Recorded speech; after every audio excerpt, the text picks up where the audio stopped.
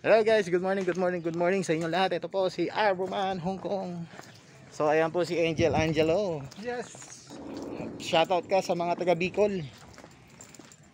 Ay mga Bicolano, shout out po sa inyo. O bakit yung mga Bicolana hindi mo tatawagin? Oo nga pala. Oh. Bicolano at Bicolana, shout out sa Ayan. inyo. Ah, ayan Mabuhay po. tayong uragon.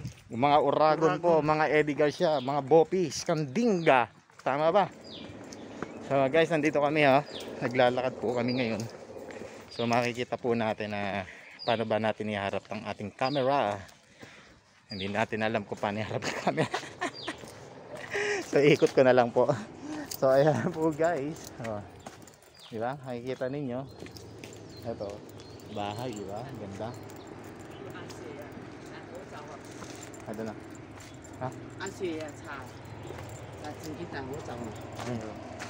So ayan po guys. So ayan. Ito po yung Lotic 1. Oh, di ba? May pulis pala dito, Jel. So So ayan po. oh.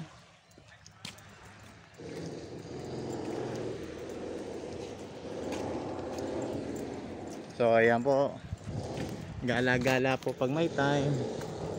So ayan po guys. So nandito kami ni Angel. So shout out Angel. Peace. So titingnan natin. Oh, di ba? so ayan po, ang kagandahan ng lugar na to. Talagang dagat na dagat, di ba? So ayan oh. Sayang. Oh. Oh, di ba? Ganda oh.